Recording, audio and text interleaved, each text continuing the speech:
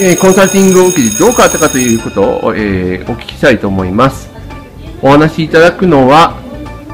ブーブオークション、栗本義孝様です。えー、今回はよろしくお願いいたします。よろしくお願いします。ブーブーオークションの栗本です。車の注文販売専門店をやっております。初めて Facebook のセミナーを受けてから、えー、おおよそ2年ぐらい経っております。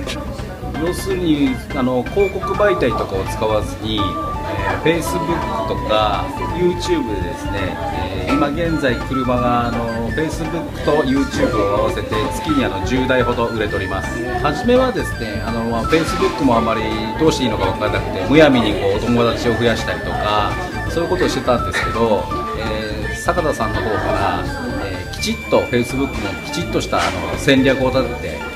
活用した方がいいよということで。であとあの見ている Facebook を見ていただく私のお友達の方々に私がどんなビジネスをしているのかそれがよく伝わるような方法で、え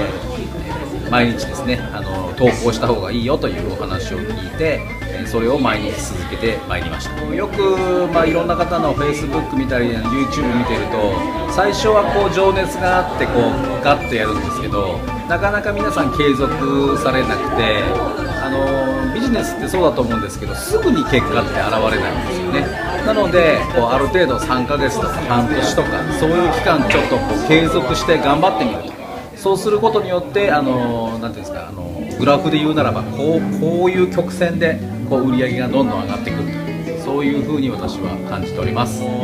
坂田さんのお話しされることっていうのは確実にあの結果の出るお話ばかりなので、あのー、まあ、非常に金額的にはお安いんですけどその10倍20倍以上の価値のある話なのでぜひぜひあのセミナー、えー、およびコンサル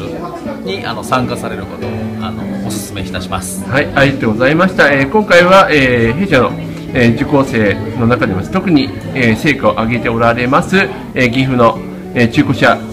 の、えー、オークションやられておりますブーブーオークション栗本義孝様にお声をいただきました。ありがとうございます。ありがとうございました。